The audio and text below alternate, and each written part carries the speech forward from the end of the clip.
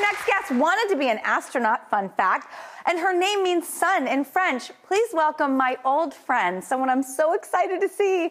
It's Soleil Moon Frye.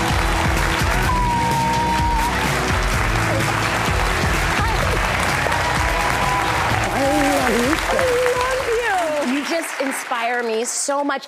And can I say your designs beautiful? I think I love that your dog's licking my leg. Oh. this is the No. most action I've had in a while. I was gonna say, just wait. Wait until Lucy comes up. You'll be seeing plenty more action. Um, okay, we're kids of the 90s.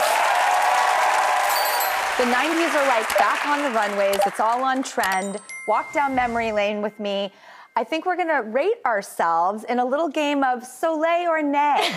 Um, all right, let's look at three of our red carpet looks from the 90s and we can decide if we slayed or it was a nay. First, let's look back to the early 90s. oh my God. Oh, Oh my my God. Oh, you guys, I mean, Do I get to rate this? Yes, you, you, get have to rate, it. this? I can't rate it. Oh, Oh, my God. for me. This It is? Yes, this is. If, if, if really the Hadid sisters walked out in this outfit, it would be in every store. Um, my God, all right, you. here's one of mine. Look at how gorgeous you are. Oh, slaying it. Not my worst. slaying it. All right, next, look, another look from the mid 90s. Oh my God. my Oh my God. Yes. Okay. I was slaying it that night. Um, okay, here's my look.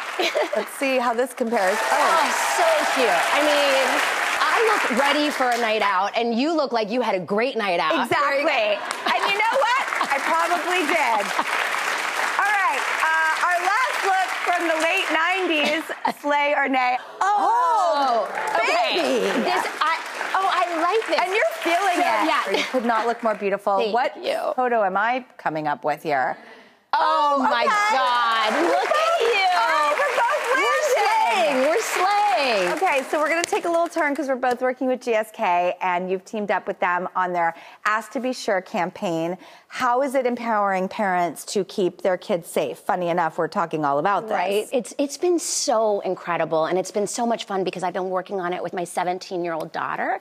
So for me as a parent, I assumed the kids had gotten meningitis vaccinations when they were little and not realizing there are actually two different types of vaccinations needed to help protect against meningitis. I just assumed the kids had been vaccinated for meningitis when they were younger and didn't realize that meningitis B was totally different.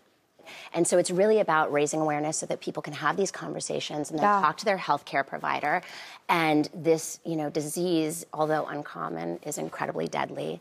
And one of the groups that it affects most is 16 to 23 year olds. But, you know, growing up, again, like, I, I don't think health was the first thing on my list to prioritize.